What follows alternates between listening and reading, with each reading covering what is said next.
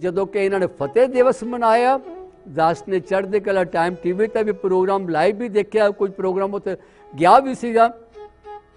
ਪਰ ਜੋ ਜਾਗਰਤੀ ਉਸ ਇਤਿਹਾਸ ਤੋਂ ਆਈ ਇਹ ਕਹਿੰਦੇ ਸੀਗੇ, ਇਹ ਪਰਉਪਕਾਰ ਦੇ ਕੰਮ ਜਿਹੜੇ ਕਮੇਟੀਆਂ ਕਰਦੀਆਂ ਪਈਆਂ ਨੇ। ਕਿਉਂਕਿ ਜਗਿਆਸੂ ਨੂੰ ਜਿਹੜੀ ਨਵੀਂ ਪੀੜ੍ਹੀ ਆ ਰਹੀ ਹੈ, ਜੈਸੇ ਸਾਡੇ ਇਸੇ ਬੰਦੇ ਨੂੰ, ਬਜ਼ੁਰਗਾਂ ਨੂੰ, ਤੇ ਜਿਹੜੀ ਨਵੀਂ ਪੀੜ੍ਹੀ ਆ ਰਹੀ ਹੈਗੀ ਆ, ਇਹੋ ਜੋ ਪ੍ਰਾਲੇ ਜਦੋਂ ਕੀਤੇ ਜਾਂਦੇ ਨੇ ਨਾ, ਤਾਂ ਤਾਂ ਹੀ ਗੁਰਬਾਣੀ ਕਹਿੰਦੇ ਕਿ ਲੋਕੇ ਸੁਖ ਪਾਇਆ ਨੇ ਪੇਟੇ ਤੇ ਧਰਮ ਰਾਇਆ ਹਰ ਦਰਗੇ ਸੋਭਾਵੰਤ, ਫੁਨ ਗਰਭ ਨਹੀਂ ਬਸੰਤ। ਮਤਲਬ ਫੁਨ ਮਤਲਬ ਦੁਬਾਰਾ ਤੂੰ ਗਰਭ ਦੇ ਵਿੱਚ ਨਹੀਂ ਆਏਗਾ ਤੂੰ ਮਾਂ ਦੇ ਗਰਭ ਦੇ ਵਿੱਚ ਨਹੀਂ ਆਏਗਾ ਇਨਕਾਰਨੇਸ਼ਨ ਤੇਰਾ ਨਹੀਂ ਹੋਵੇਗਾ ਤੇਰਾ ਜਨਮ ਮਰਨ ਤੇਰਾ ਜਿਹੜਾ ਗੇੜ ਹੋਏਗਾ ਤੇਰਾ ਕਿ ਜਾਂ ਕੇ ਮਨ ਗੁਰ ਕੀ ਪ੍ਰਤੀਸ ਦੀਜਨ ਨੇ ਆਵੇ ਪ੍ਰਭ ਚਿਤ ਜਨਮ ਮਰਨ ਤਾਕਾ ਦੁੱਖ ਨਿਵਾਰੇ ਦੁਲਭ ਦੇ ਤਤਕਾਲ ਉਦਾਰੇ ਦਾਸ ਦੇ ਮਿੱਤਰ ਨੇ ਦੁਬਈ ਦੇ ਵਿੱਚ ਹੁਣ ਤਾਂ ਪਿਛਲੇ 8-10 ਸਾਲ ਤੋਂ ਕੈਨ- ਮ- ਕੈਲਗਰੀ ਕੈਨੇਡਾ ਮਾਈਗ੍ਰੇਟ ਕਰ ਗਏ ਨੇ ਦਾਸ ਦਾ ਬਹੁਤਾ ਜੀਵਨ ਜਿਹੜਾ ਹੈਗਾ ਅੱਗੇ ਲਿਆਉਣ ਵਾਲੇ ਮੇਰੇ ਉਹੀ ਗੁਰਮੁਖ ਪਿਆਰੇ ਨੇ ਯਾਨੀ ਬਲਦੇਵ ਸਿੰਘ ਪਹਿਲਾਂ ਤਾਂ ਬੜੀ ਛੋਟੀ ਕਿਰਤ ਵਿਹਾਰ ਕਰਦੇ ਸੀਗੇ। ਤੇ ਜਦੋਂ ਸਨ 1981 ਦੇ ਵਿੱਚ 80 ਦੇ ਵਿੱਚ ਜਦੋਂ ਕਿ ਕੁਵੈਤ ਤੇ ਇਰਾਕ ਦੇ ਲੜਾਈ ਹੋਈ ਹੈ, ਤੇ ਦਾਸ ਨੇ ਉਹਨਾਂ ਨੂੰ ਮੋਟਰਸਾਈਕਲ ਲੈ ਕੇ ਦਿੱਤਾ ਹੋਇਆ ਸੀਗਾ। ਤੇ ਲੜਾਈ ਜਦੋਂ ਹੋਈ ਤਾਂ ਉਹਨਾਂ ਨੇ ਉਹ ਮੋਟਰਸਾਈਕਲ ਵੇਚ ਦਿੱਤਾ। ਕਿਉਂਕਿ ਮੇਰੇ ਘਰ ਰੋਜ਼ ਆਉਂਦੇ ਸੀਗੇ, ਮੇਰੇ ਬੱਚਿਆਂ ਨੂੰ ਕੀਰਤਨ ਸਿਖਾਉਂਦੇ ਸੀਗੇ, ਪੰਜਾਬੀ ਸਿਖਾਉਂਦੇ ਸੀਗੇ, ਉਹ ਵੀ ਜੋ ਸੀਗਾ, ਕਿਉਂਕਿ ਉਹਨਾਂ ਦੀ ਫੈਮਿਲੀ ਸੀਗੀ। ਇੰਡੀਆ ਦੇ ਵਿੱਚ ਤਾਂ ਇੱਥੇ ਆਪਣਾ ਮੇਰੇ ਘਰ ਆਉਂਦੇ ਸੀਗੇ, ਮੇਰੇ ਬੱਚਿਆਂ ਨੂੰ ਸਿਖਾਉਂਦੇ ਸੀਗੇ, ਹਫ਼ਤੇ ਤਿੰਨ ਚਾਰ ਵਾਰੀ ਆਉਂਦੇ ਸੀਗੇ। ਤੇ ਕਿਉਂਕਿ ਉਹਦੇ ਵਰਕ ਪਲੇਸ ਤੋਂ ਮੇਰੇ ਪਲੇਸ ਤੱਕ ਆਉਣ ਦੇ ਲਈ ਥੋੜਾ ਡਿਸਟੈਂਸ ਪੈਂਦਾ ਸੀਗਾ। ਬੱਸ ਵਗੈਰਾ ਇੰਨਾ ਪਬਲਿਕ ਟਰਾਂਸਪੋਰਟ ਸਿਸਟਮ ਪਹਿਲਾਂ ਦੁਬਈ ਵਗੈਰਾ 'ਚ ਨਹੀਂ ਬਹੁਤ ਪਪੂਲਰ ਸੀਗਾ। ਤਾਂ ਉਹਨਾਂ ਨੇ ਮੋਟਰਸਾਈਕਲ ਲੈ ਕੇ ਦਿੱਤਾ ਤੇ ਜਦੋਂ ਗਲਫ ਵਾਰ ਹੋਈ ਹੈ, ਇਹਨਾਂ ਨੇ ਮੋਟਰਸਾਈਕਲ ਵੇਚ ਦਿੱਤਾ। ਕਹਿੰਦੇ ਗੌਰੀ ਸਾਹਿਬ ਆ ਮਾਇਆ ਕਿਉਂਕਿ ਹੁਣ ਇਹ ਜਿਹੜੇ ਅਰਬ ਦੇਸ਼ਾਂ 'ਚ ਲੜਾਈਆਂ ਹੋਣ ਲੱਗੀਆਂ ਨੇ ਤੇ ਸਾਰਾ ਇੱਥੋਂ ਜਿਹੜਾ ਹੈਗਾ ਪੰਜਾਬੀ ਇੰਡੀਅਨ ਹਿੰਦੁਸਤਾਨੀ ਸਾਰੇ ਚਲੇ ਜਾਣਗੇ। ਮੈਂ ਕਿਹਾ ਗੁਰਮੁਖੋ ਕੀ ਕੀਤਾ ਤੁਸੀਂ? ਇਹ ਤਾਂ ਮੈਂ ਤੁਹਾਨੂੰ ਗੁਰੂ ਤੇ ਭਰੋਸਾ ਨਹੀਂ ਹੈਗਾ। ਗੁਰੂ ਤੇ ਸ਼ਰਧਾ ਨਹੀਂ ਹੈਗੀ। ਮੈਂ ਕਿਹਾ, ਇਹ ਲਓ ਮਾਇਆ, ਤੇ ਹੋਰ ਮਾਇਆ ਲਵੋ ਤੇ ਤੁਸੀਂ ਨਵਾਂ ਮੋਟਰਸਾਈਕਲ ਲਵੋ ਔਰ ਕੱਲ ਦਾ ਕੱਲ ਲੈਣਾ ਤੁਸੀਂ। ਨਵਾਂ ਮੋਟਰਸਾਈਕਲ ਉਸ ਤੋਂ ਵੀ ਵੱਡਾ ਲੈ ਕੇ ਦਿੱਤਾ, ਕਿਉਂਕਿ ਛੋਟੇ ਦੇ ਨਾਲ ਥੋੜਾ ਟ੍ਰੇਲਰ ਵਗੈਰਾ ਆਉਣ ਜਾਣ ਨਾਲ। ਤੇ ਕਹਿਣ ਦਾ ਭਾਵ ਹੈਗਾ ਆ ਕਿ ਭਾਈ ਜਦੋਂ ਤੂੰ ਗੁਰੂ ਦੇ ਲੜ ਲੱਗੇਗਾ ਤੇ ਫੁਨ ਗਰਭ ਨਹੀਂ ਬਸੰਤ ਤੂੰ ਅਗਰ ਗੁਰੂ ਬਾਣ ਦੇ ਲੜ ਲੱਗੇਗਾ ਅਗਰ ਇਹ ਸੰਤ ਕਹਿੰਦੇ ਹੈਗੇ ਤਾਂ ਇਹੋ ਜਿਹੇ ਜਗਿਆਸੂ ਜੜੇ ਨੇ ਜਿਨ੍ਹਾਂ ਦੇ ਅੰਦਰ ਪੀੜਾ ਸੀਗੀ ਕਿਉਂਕਿ ਦਾਸ ਨੂੰ ਕਰੀਬ ਇਹਨਾਂ ਨੇ 15 20 ਸਾਲ ਗੁਰਬਾਣੀ ਸਿਖਾਇਆ ਮੈਨੂੰ ਕੀਰਤਨ ਸਿਖਾਇਆ ਮੈਨੂੰ ਬੜਾ ਕੁਛ ਇਹਨਾਂ ਨੇ ਸਿਖਾਇਆ ਅਸੀਂ ਉਹਨਾਂ ਨੂੰ ਸੰਤ ਨਾ ਕਹੀਏ ਸੰਤ ਕਹੀਏ ਇਹੋ ਜਿਹੇ ਗੁਰਮਖਾਂ ਨੂੰ ਜਿਹੜਾ ਨੇ ਕਿ ਅੱਜ ਇਹਨਾਂ ਦਾ ਪੂਰਾ ਪਰਿਵਾਰ ਜਿਹੜਾ ਕੈਲੀਗਰੀ ਦੇ ਕੈਲੀਗਰੀ ਵਿੱਚ ਰਹਿੰਦਾ ਹੈਗਾ ਨੇ, ਬੱਚੇ ਬੜੇ ਗੁਰਸਿੱਖ ਨੇ, ਬਹੁਤ ਸੋਹਣਾ ਕੀਰਤਨ ਕਰਦੇ ਨੇ, ਪੂਰੇ ਉਹਦੇ ਦਾੜੇ ਪ੍ਰਕਾਸ਼ ਨੇ, ਪੂਰਾ ਜਿਹੜਾ ਪਰਿਵਾਰ ਰਹਿੰਦਾ ਹੈਗਾ ਆ, ਬੜਾ ਗੁਰਸਿੱਖੀ ਜੀਵਨ ਵਾਲਾ ਹੈਗਾ ਆ। ਇਹੋ ਜਿਹੇ ਮਿਸਾਲਾਂ ਸੀ ਹਰ ਘਰ ਦੇ ਵਿੱਚ ਕਰੀਏ, ਹਰ ਇਲਾਕੇ ਦੇ ਵਿੱਚ ਕਰੀਏ। ਜਿਹੜੇ ਪਿੰਡਾਂ ਦੇ ਮੁਖੀ ਇਹ ਪ੍ਰੋਗਰਾਮ ਨੂੰ ਦੇਖਦੇ ਪਏ ਨੇ, ਮੈਂ ਤੁਹਾਡੇ ਚਰਨਾਂ 'ਚ ਬੇਨਤੀ ਕਰਦਾ ਹੈਗਾ ਆ ਕਿ ਆਪਣੇ ਇਲਾਕੇ ਦੇ ਵਿੱਚ, ਆਪਣੇ ਸਮਾਜ ਦੇ ਵਿੱਚ, ਆਪਣੇ ਲੋਕਾਂ ਨੂੰ ਸਮਝਾਵੋ ਸਭ ਤੋਂ ਪਹਿਲਾਂ ਵੱਡੀ ਗੱਲ ਸਮਝਾਵੋ ਕਿ ਭਾਈ ਨਸ਼ਾ ਨੂੰ ਤਿਆਗੋ। ਸਭ ਤੋਂ ਪਹਿਲਾਂ ਮੇਰੇ ਸਿੱਖ ਨੇ ਨਸ਼ਾ ਤਿਆਗਣਾ ਹੈਗਾ ਆ। ਦੇਖ ਲਓ, ਕਲਗੀਧਰ ਪਿਤਾ ਨੇ ਸਾਨੂੰ ਧਰਮ ਦੇ ਵਿੱਚ ਵਰਜਿਤ ਕਰ ਦਿੱਤਾ ਹੈਗਾ ਕਿ ਨਸ਼ੇ ਕਰਨੇ ਜਿਹੜੇ ਪੈੜੇ ਨੇ, ਅੱਜ ਸਰਕਾਰਾਂ ਬੜੀਆਂ ਪਰੇਸ਼ਾਨ ਨੇ। ਅੱਜ ਸਰਕਾਰਾਂ ਬੜੀਆਂ ਪਰੇਸ਼ਾਨ ਨੇ ਔਰ ਬਾਰ-ਬਾਰ ਮੀਡੀਆ ਰਾਹੀਂ ਉਹ ਮੈਸੇਜ ਪਹੁੰਚਾਉਣ ਦੀ ਕੋਸ਼ਿਸ਼ ਕਰਦੇ ਨੇ ਬਜਾਏ ਕਿ ਮੈਸੇਜ ਦਾ ਕੋਈ ਪੋਜ਼ਿਟਿਵ ਰਿਜ਼ਲਟ ਆਵੇ ਮੈਸੇਜ ਦਾ ਉਲਟਾ 네ਗੇਟਿਵ ਰਿਜ਼ਲਟ ਹੋ ਰਿਹਾ। ਹੋਰ ਵੱਧਦੇ ਪਏ ਨਸ਼ੇ। ਔਰ ਮੇਰੇ ਪੰਜਾਬ ਦੇ ਵਿੱਚ ਵੀ ਜਿਹੜੇ ਨਸ਼ੇ ਹੁੰਦੇ ਪਏ ਨੇ, ਜਿਹੜੇ ਕਲਗੀਆਂ ਵਾਲੇ ਨੇ ਹੁਕਮ ਦਿੱਤੇ, ਤੁਸੀਂ ਪਾਲਣਾ ਕਰੋ। ਜੇ ਆਪਣੇ ਜੀਵਨ ਨੂੰ ਤੁਸੀਂ ਉਜਵਲ ਰੱਖਣਾ ਚਾਹੁੰਦੇ ਹੋ, ਔਰ ਖਾਸ ਕਰਕੇ ਮੈਂ ਨਵੀਂ ਪੀੜ੍ਹੀ ਨੂੰ ਸੁਨੇਹਾ ਦਵਾਂਗਾ, ਤੁਸੀਂ ਅੱਗੇ ਵਧਣਾ ਹੈ, ਕਾਮਯਾਬ ਹੋਣਾ ਹੈ ਦੁਨੀਆ 'ਚ ਸੋਹਣੀ ਮਾਇਆ ਕਮਾਣੀ ਹੈ, ਧਨ ਦੌਲਤ ਕਮਾਣੀ ਹੈਗੀ ਹੈ, ਗੁਰੂ ਦਾ ਓਟ ਆਸਰਾ ਰੱਖਣਾ ਆਪਣੇ ਮਨ ਦੇ ਵਿੱਚ, ਆਪਣੇ ਸਿੱਖੀ ਸਰੂਪ ਨੂੰ ਸੰਭਾਲੋ। ਇਹ ਦਾਸ ਆਪਣੇ ਜੀਵਨ ਦਾ ਤਜਰਬਾ ਦੱਸਦਾ ਹੈਗਾ ਆ ਕਿ ਜਿੰਨਾ ਦੁਨੀਆ 'ਚ ਮੈਂ ਵਿਚਰਿਆ ਹੈਗਾ ਆ, ਇਹ ਮੇਰੇ ਕਲਗੀਆਂ ਵੱਲ ਦੀ ਸ਼ਾਨ ਨੇ ਮੈਨੂੰ ਹਮੇਸ਼ਾ ਉੱਚਾ ਰੱਖਿਆ ਹੈਗਾ ਆ। ਕਲਗੀਆਂ ਵੱਲ ਦੀ ਸ਼ਾਨ ਨੇ, ਕਲਗੀਆਂ ਵੱਲ ਦੀ ਮੋਹਰ ਨੇ।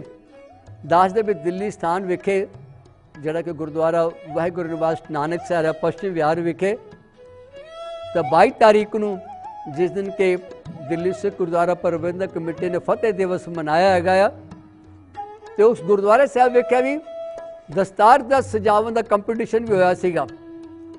ਛੋਟੇ ਛੋਟੇ ਬੱਚੇ 5 ਸਾਲ ਦੇ 10 ਸਾਲ ਦੇ 12 ਸਾਲ ਦੇ ਆਏ ਗੁਰਦੁਆਰਾ ਸਾਹਿਬ, ਔਰ ਉਹਨੇ ਦਸਤਾਰਾਂ ਬੰਨੀਆਂ। ਐਨੇ ਸੂਰਮੇ ਲੱਗ ਰਹੇ ਸੀਗੇ, ਐਨੇ ਯੋਧੇ ਲੱਗ ਰਹੇ ਸੀਗੇ ਜਦੋਂ ਬੱਚਿਆਂ ਨੂੰ ਦੇਖਿਆ ਕਿ 12 ਸਾਲ 10 ਸਾਲ ਦੇ ਬੱਚੇ ਛੋਟੇ ਛੋਟੇ ਗੋਰੇ ਗੋਰੇ ਮੂੰਹ ਮਾਤਾਵਾਂ ਨਾਲ ਉਹਨਾਂ ਦੀ ਆਈਆਂ ਨੇ, ਮਨ ਬੜਾ ਖੁਸ਼ ਹੋਇਆ ਕਿ ਦੇਖੋ, ਮੇਰੇ ਕਲਗੀਆਂ ਵਾਲੇ ਨੇ ਕੀ ਨਿਸ਼ਾਨੀ ਸਾਨੂੰ ਦਿੱਤੀ ਹੈਗੀ ਤੇ ਦੱਸ ਲਈ ਉਹਨੇ ਬੱਚਿਆਂ ਨੂੰ ਸਮਝਾਇਆ ਕਿ ਭਾਈ ਤੁਸੀਂ ਅਗਰ ਜ਼ਿੰਦਗੀ 'ਚ ਕਾਮਯਾਬ ਹੋਣਾ ਤਾਂ ਦੋ ਗੱਲਾਂ ਜ਼ਰੂਰ ਤਵੱਜੋ ਦੇਣਾ। ਇੱਕ, ਤੁਸੀਂ ਚੰਗੀ ਪੜ੍ਹਾਈ ਜ਼ਰੂਰ ਕਰਨਾ। ਪੜ੍ਹਾਈ ਦੇ ਬਿਨਾਂ ਅੱਜ ਸਮੇਂ ਨਹੀਂ ਹੈਗਾ। ਇਹ ਨਾ ਕਹਿਣਾ ਕਿ ਮੇਰੇ ਮੇਰੇ ਬਜ਼ੁਰਗਾਂ ਦੇ ਕੋਲ ਘਰ ਜਾਇਦਾਦ, ਮੇਰੇ ਕੋਲ ਟਰੈਕਟਰ, ਖੇਤੀਬਾੜੀ, ਸਾਰਾ ਕੁਝ ਹੈਗਾ, ਮੇਰੇ ਕੋਲ ਡੰਗਰ ਹੈਗੇ ਨੇ, ਸਾਰਾ ਕੁਝ ਹੈਗਾ। ਜਦ ਤੱਕ ਤੇਰੇ ਕੋਲ ਆਪਣੀ ਪੜ੍ਹਾਈ ਨਹੀਂ, ਜਦ ਤੱਕ ਤੇਰੇ ਕੋਲ ਕੰਪਿਊਟਰ ਦੀ ਨੌਲੇਜ ਨਹੀਂ ਹੈਗੀ, ਤੇਰਾ ਤੂੰ ਜ਼ਿੰਦਗੀ 'ਚ ਬੜਾ ਪਿੱਛੇ ਰਹਿ ਜਾਏਗਾ। ਮੈਂ ਇਸ ਕਰਕੇ ਬਜ਼ੁਰਗਾਂ ਨੂੰ ਵੀ ਇਹ ਸੰਦੇਸ਼ ਦੇਵਾਂ ਕਿ ਭਾਈ, ਆਪਣਾ ਨਿਤਨੇਮ ਜੂ ਕਰਿਆ ਕਰੋ। ਤੇ ਤਾਂ ਹੀ ਸਾਡੇ ਨਾਲ ਇਹੀ ਹੈਗਾ ਕਿ ਸੰਤਨ ਮੋਕੋ ਪੂੰਜੀ ਸੌਪੀ, ਤੋ ਉਤਰਿਓ ਮਨ ਕਾ ਤੋਖਾ ਧਰਮ ਰਹਿ, ਕਹਾਂ ਕਰੇ ਕਿ ਜੋ ਫਾਟੋ ਸਗਲਾ ਲੇਖਾ। ਫਿਰ ਧਰਮਰਾਜ ਕੁਝ ਨਹੀਂ ਕਰ ਸਕਦਾ ਹੈਗਾ। ਕਿਉਂ? ਕਿ ਤੇਰੇ ਅੰਦਰ ਇੱਕ ਪ੍ਰਕਾਸ਼ ਹੈਗਾ ਤੇਰੇ ਅੰਦਰ ਇੱਕ ਗਿਆਨ ਹੈਗਾ ਆ। ਤੇਰੇ ਅੰਦਰ ਇੱਕ ਗਿਆਨ ਅੰਜਨ ਹੈਗਾ ਆ।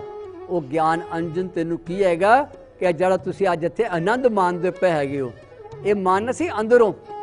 ਆਪਣੇ ਬਿਰਤ ਨੂੰ ਰੱਖ ਦੋ ਮਨ ਮਾਲਕ ਦੇ ਚਰਨਾਂ ਦੇ ਵਿੱਚ। ਕਿ ਭਾਈ ਮੇਰਾ ਪਤੀ ਮੇਰਾ ਮਾਲਕ ਮੇਰਾ ਪਾਤਸ਼ਾਹ ਜੋ ਵੀ ਹੈਗਾ ਮੇਰਾ ਗੁਰੂ ਨਾਨਕ ਹੈਗਾ ਤੇ ਸਿਵਾਏ ਮੇਰਾ ਕੋਈ ਹੋਰ ਨਹੀਂ ਹੈਗਾ ਦੇਖੋ ਮੈਂ ਨਵੀਂ ਪੀੜ੍ਹੀ ਨੂੰ ਖਾਸ ਇੱਕ ਸੁਨੇਹਾ ਦਿੰਨਾ ਹੈਗਾ ਆ ਕਿ ਆਪਣੇ ਜੀਵਨ ਨੂੰ ਅੱਗੇ ਬਣਾਉਣ ਦੇ ਲਈ ਆਪਣੇ ਬਜ਼ੁਰਗਾਂ ਦਾ ਸਤਿਕਾਰ ਕਰੋ ਆਪਣੇ ਮਾਪੇ ਦਾ ਸਤਿਕਾਰ ਕਰੋ ਅੱਜ ਕੈਨੇਡਾ ਦੇ ਵਿੱਚ ਅਮਰੀਕਾ ਦੇ ਵਿੱਚ ਕਿ ਜਿਸ ਤਰ੍ਹਾਂ ਕਿ ਅੱਜ ਇੱਕ ਡਾਲਰ 60 62 ਦਾ ਤਕਰੀਬਨ ਹੈਗਾ ਤਾਂ ਇੱਕ ਦੇਖਿਆ ਜਾਵੇ ਤਾਂ ਵੱਡੀ ਰਕਮ ਬਣ ਜਾਂਦੀ ਹੈ ਪਰ ਤੁਹਾਡੇ ਬਜ਼ੁਰਗਾਂ ਨੂੰ ਤੁਹਾਡੀ ਮਾਇਆ ਨਹੀਂ ਚਾਹੀਦੀ। ਤੁਹਾਡੇ ਬਜ਼ੁਰਗਾਂ ਨੂੰ ਤੁਹਾਡੀ ਮਾਇਆ ਨਹੀਂ ਚਾਹੀਦੀ। ਮਾਇਆ ਖਰਚ ਕੇ ਦੇਣ ਵਾਲੇ ਬਥੇਰੇ ਆਸ਼ਰਮ ਹੈਗੇ ਨੇ। ਬਜ਼ੁਰਗਾਂ ਨੂੰ ਤੁਹਾਡਾ ਪਿਆਰ ਚਾਹੀਦਾ ਹੈ। ਬਜ਼ੁਰਗਾਂ ਨੂੰ ਚਾਹੀਦਾ ਕਿ ਮੇਰੇ ਡੈਡੀ ਜੀ ਆਓ, ਸਾਡੇ ਕੋਲ ਤੁਸੀਂ ਰਹੋ। ਦਾਸ ਨੇ ਪਿੱਛੇ ਜੇ ਇੱਕ WhatsApp ਆਇਆ। ਮਨ ਬੜਾ ਦੁਖੀ ਹੋਇਆ। WhatsApp ਪੜ੍ਹ ਕੇ ਬੇਟਾ ਤੇ ਨੂੰ ਜਿਹੜੀ ਸੀਗੇ, ਅਮਰੀਕਾ ਮਾਈਗ੍ਰੇਟ ਕਰ ਗਏ, ਪੱਕੇ ਹੋ ਗਏ। ਤੇ ਬਜ਼ੁਰਗ ਮਾਤਾ ਸਿਰਫ ਕੱਲੀ ਸੀਗੇ, ਕਲੋਨੀ ਦੇ ਵਿੱਚ ਰਹਿੰਦੇ ਸੀ, ਇੱਕ ਮਕਾਨ ਸੀਗਾ ਥੋੜਾ ਦਾ ਮੁੱਲ ਸੀਗਾ। ਤੇ ਮਾਤਾ ਆਪਣਾ ਸੋਹਣਾ ਟਾਈਮ ਗੁਜ਼ਾਰ ਰਹੀ ਸੀਗੀ ਕਿ ਮੇਰਾ ਬੇਟਾ ਅਮਰੀਕਾ ਦੇ ਵਿੱਚ ਹੈ, ਕੈਨੇਡਾ ਦੇ ਵਿੱਚ ਹੈ ਜਾਂ ਜਿੱਥੇ ਵੀ ਹੈਗਾ ਆ। ਤੇ ਬੇਟੇ ਨੇ ਇੱਕ ਦਿਨ ਮਾਂ ਨੂੰ ਫੋਨ ਕੀਤਾ, ਮਾਂ, ਮੈਂ ਤੈਨੂੰ ਲੈਣ ਦੇ ਲਈ ਆ ਰਿਹਾ ਹਾਂ। ਤੂੰ ਤਿਆਰੀ ਕਰ ਲੈ। ਤੇਰੇ ਹੁਣ ਪੁਰਾਣੇ ਦਿਨ ਕੱਲੇ ਰਹਿੰਦੇ, ਨਿਕਲ ਦੂਰ ਹੋ ਗਏ, ਖਤਮ ਹੋ ਗਏ, ਮਾਂ ਤੂੰ ਮੇਰੇ ਕੋਲ ਆਏਂਗੀ। ਤੇ ਮਾਂ ਦੀ ਤਾਂ ਫਿਰ ਪੈਰ ਜ਼ਮੀਨ ਤੇ ਨਾ ਟਿਕਣ। ਸਾਰੇ ਮੁਹੱਲੇ ਇਲਾਕੇ ਦੇ ਲੋਕਾਂ ਨੂੰ ਕਹਿਣ ਕਿ ਮਾਤਾ ਮਾਤਾ ਤੋਂ ਜਾ ਰਹੀ ਅਮਰੀਕਾ, ਇਹਦਾ ਬੇਟਾ ਲੈਣ ਦੇ ਲਈ ਆ ਰਿਹਾ ਹੈ। ਕੁਝ ਦਿਨਾਂ ਬਾਅਦ ਬੇਟਾ ਆਇਆ, ਬੜੇ ਕੱਪੜੇ ਠੂਠਾਂ ਪਾਇਓ ਸੂਟ ਵੂਟ ਪਾਇਆ, ਬੜਾ ਅਤਰ ਛਤਰ ਲਗਾਇਆ ਪੁਰਾਣਾ ਆਇਆ ਮਾਂ ਨੂੰ ਕਹਿੰਦਾ, ਮਾਂ, ਸਮਾਨ ਪੈ ਕਰੋ, ਬਸ ਆਪਾਂ ਜਾਣਾ ਆ। ਹੁਣ ਮਕਾਨ ਨੂੰ ਵੇਚ ਦਈਏ। ਇਹ ਮਕਾਨ ਪਿੱਛੇ ਕੌਣ ਸੰਭਾਲੇਗਾ? ਫਲਾਨਾ ਟਿੰਗਣਾ ਮਾਂ ਵਿਚਾਰੀ ਕਿਸ ਪੁੱਤਰ ਦੇ ਮੋਹ ਦੇ ਵਿੱਚ ਕਹਿੰਦੇ, ਠੀਕ ਆ, ਮਕਾਨ ਵੇਚ ਦਿੱਤਾ। ਮਕਾਨ ਵੇਚਿਆ, ਮਾਂ ਨੂੰ ਕਹਿੰਦਾ, ਮਾਂ ਤਿੱਟੀ ਪਾ, ਆਪਾਂ ਚੱਲੀਏ 에어ਪੋਰਟ ਤੇ ਆਪਣਾ ਸਮਾਨ ਲੈ ਕੇ। ਮਾਂ ਗਈ 에어ਪੋਰਟ ਦੇ ਉੱਤੇ।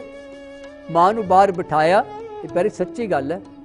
ਮਾਂ ਨੂੰ ਬਾਹਰ ਬਿਠਾਇਆ 에어ਪੋਰਟ ਤੇ ਮਾਂ ਨੂੰ ਕਹਿੰਦਾ ਕਿ ਮਾਂ ਤੂੰ ਬੈਠ ਇੱਥੇ, ਮੈਂ ਅੰਦਰੋਂ ਹੁਣੀ ਆਇਆ, ਤੇਰੇ ਮੈਂ ਕਾਗਜ਼ਗਰ ਬਣਾ ਕੇ ਆਣਾ ਮਾਂ ਤਾਂ ਖੁਸ਼ ਗਦ-ਗਦ ਕਿ ਮੇਰਾ ਪੁੱਤਰ ਅਮਰੀਕਾ ਤੋਂ ਆਇਆ। ਮੇਰੇ ਨੂੰਹ ਦਾ ਟੈਲੀਫੋਨ ਆਇਆ ਮੈਨੂੰ ਕਿ ਮੈਨੂੰ ਲੈਣ ਦੇ ਲਈ ਆਏ ਨੇ। ਮੇਰਾ ਬੇਟਾ ਆਇਆ ਮੈਨੂੰ, ਤੇਰਾ ਮਕਾਨ ਵੇਚ ਦਿੱਤਾ। ਹੁਣ ਵਿਚਾਰ ਜਿਹੜੇ ਚਾਰ ਪੈਸੇ ਨੇ ਅਮਰੀਕਾ ਚਲੇ ਗਏ ਨੇ। ਬੇਟਾ ਮੇਰਾ ਅੰਦਰ, ਹੁਣ ਜਹਾਜ਼ ਦੇ ਅੰਦਰ ਗਿਆ ਹੈਗਾ। ਮਾਂ ਦੁਪਹਿਰ ਦੀ ਉੱਥੇ 에어ਪੋਰਟ ਦੇ ਬਾਹਰ ਬੈਠੀ ਹੋਈ, ਇੰਤਜ਼ਾਰ ਕਰਦੀ ਕਿ ਮੇਰਾ ਬੇਟਾ ਹੁਣ ਅੰਦਰ ਮੇਰੀ ਟਿਕਟ ਲੈ ਕੇ ਆਏਗਾ, ਮੈਂ ਜਹਾਜ਼ 'ਚ ਬੈਠਾਂਗੀ।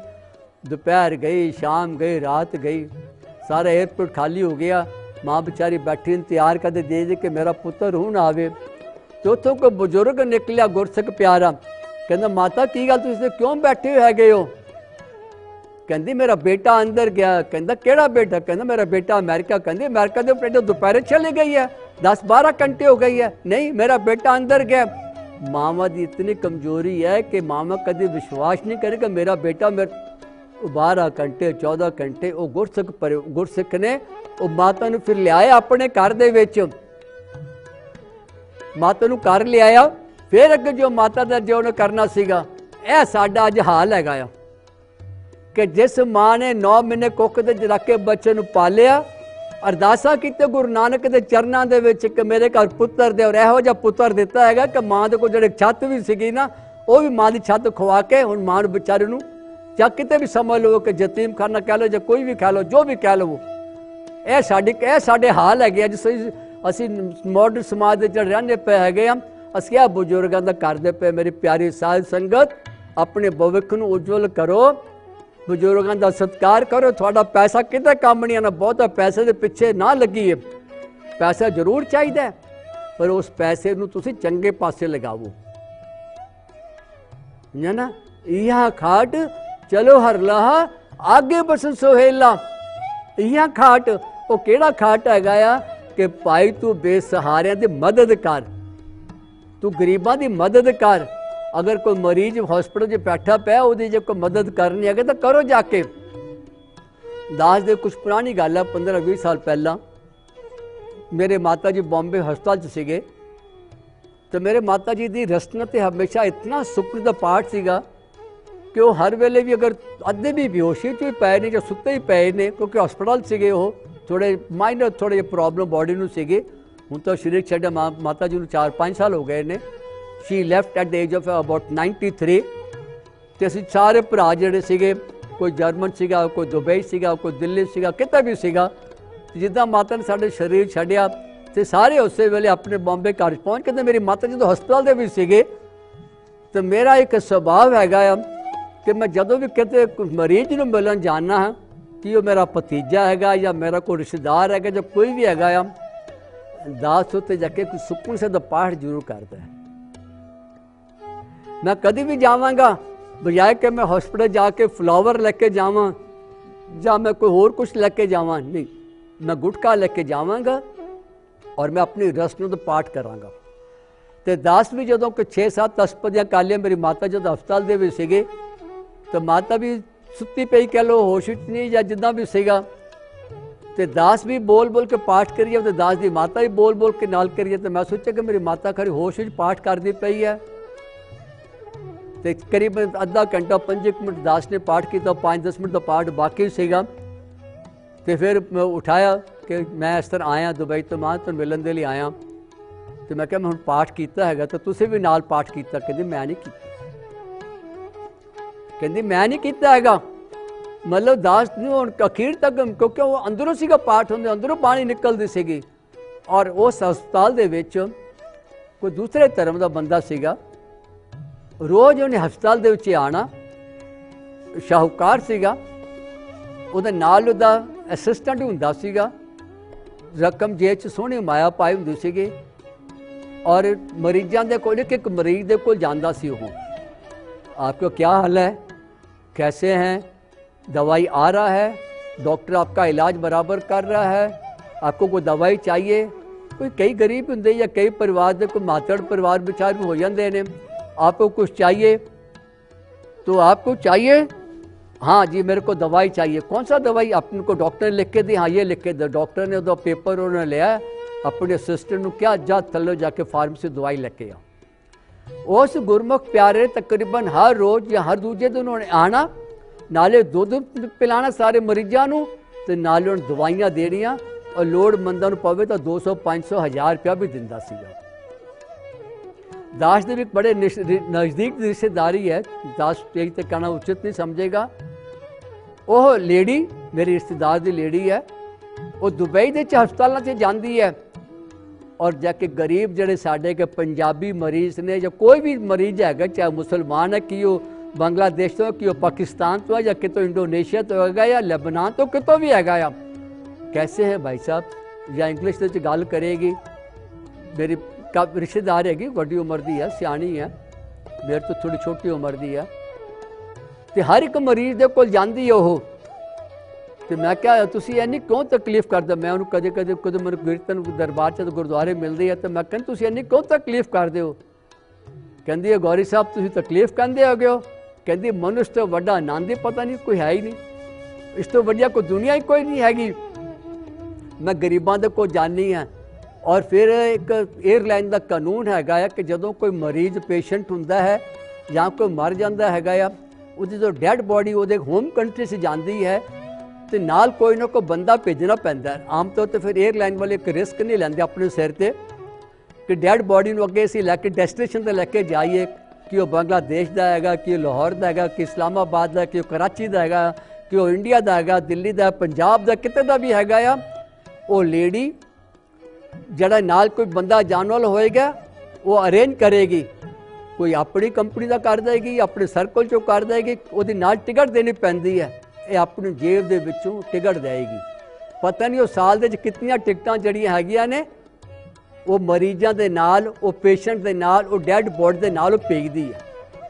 ਕਿਉਂਕਿ ਜਦੋਂ ਹੁਣ ਅਰਬ ਦੇਸ਼ਾਂ 'ਚ, ਖਾੜੀ ਦੇਸ਼ਾਂ ਸਾਡੇ ਪੰਜਾਬੀ ਜਾਂਦੇ ਨੇ ਕੰਮਕਾਜ ਕਰਦੇ ਕੋਈ ਨਾ ਕੋਈ ਐਕਸੀਡੈਂਟ ਹੋ ਗਿਆ ਕੁਝ ਵੀ ਹੋ ਗਿਆ ਕੋਈ ਬਿਮਾਰ ਹੋ ਗਿਆ ਕੋਈ ਹਾਰਟ ਅਟੈਕ ਆ ਗਿਆ ਜਾਂ ਕੋਈ ਡੈੱਡ ਹੋ ਗਿਆ ਕੋਈ ਮਰ ਗਿਆ ਹੈਗਾ ਆ ਇਹ ਸਾਰੇ ਪ੍ਰਬੰਧ ਜਿਹੜੇ ਨੇ ਉਹ ਬੀਬੀ ਕਰਦੀ ਪਈ ਆ। ਇਹ ਹੈਗੀ ਮੇਰੇ ਗੁਰਸਿੱਖੀ ਇਹ ਮੇਰੇ ਹੈਗੀ ਸਿੱਖੀ ਦੀ ਜਿਹੜੀ ਮਿਹਰ ਕਲੀਆਂ ਵਾਲ ਦੀ ਮਿਹਰ, ਇਹ ਕਿਹਦੀ? ਇਹ ਮਿਹਰ ਹੈਗੀ ਪੱਗ ਦੀ।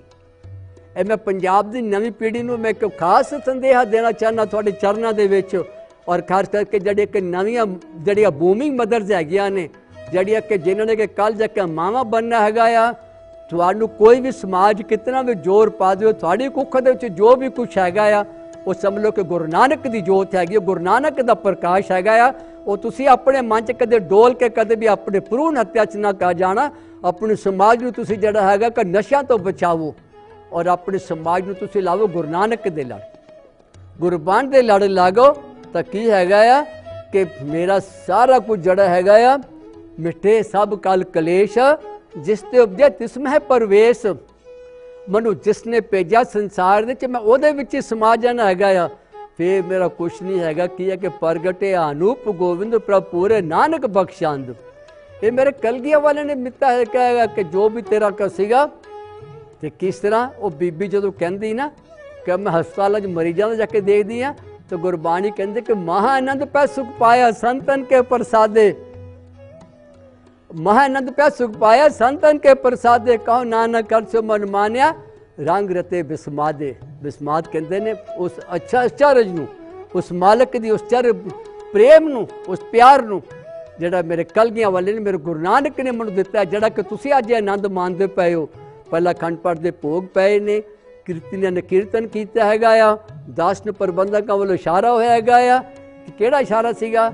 कि हम संतन की रेन प्यारे हम संतन की सरना संत है हमारी ओठानी संत है हमारा ज्ञाना संतन स्यों बणियाई पूर्व लिखिया पाई है मन तेरा पाई ਮੇਰੇ ਪੂਰਬਲੇ ਕਰਮ ਸੀਗੇ ਮੇਰੇ ਪੂਰਬਲੇ ਸੰਜੋਗ ਸੀਗੇ ਇਹ ਮੈਨੂੰ ਦਾਤ ਤੇਰੇ ਦਰ ਤੋਂ ਮਿਲੀ ਹੈਗੀ ਆ ਸੋ ਮੈਂ ਆਪ ਦੇ ਬਹੁਤ ਸਮੇਂ ਨਾਲ ਲਵਾਂ ਕਿਉਂਕਿ ਕਾਫੀ ਸਮੇਂ ਹੋ ਗਿਆ ਹੈਗਾ ਆ ਤੇ ਗੁਰਬਾਣੀ ਇਹੀ ਕਹਿੰਦੀ ਹੈਗੀ ਆ ਕਿ ਨਿਰਗੁਣ ਨੀਚ ਅਨਾਥ ਅਪਰਾਧੀ ਓਟ ਸੰਤਨ ਕੀ ਆਹੀ ਬੂਡਤ ਮੋਹ ਗ੍ਰੈਂਦ ਕੂਪ ਮੈਂ ਨਾਨਕ ਲਿਹੋ ਨਿਬਾਹੀ ਕਿ ਮੈਂ ਨਿਰਗੁਣ ਹੈਗਾ ਆ, ਨੀਚ ਹੈਗਾ ਆ, ਅਨਾਥ ਹੈਗਾ ਆ, ਅਪਰਾਧੀ ਹੈਗਾ ਓਟ ਸੰਤਨ ਕੀ ਆਹੀ।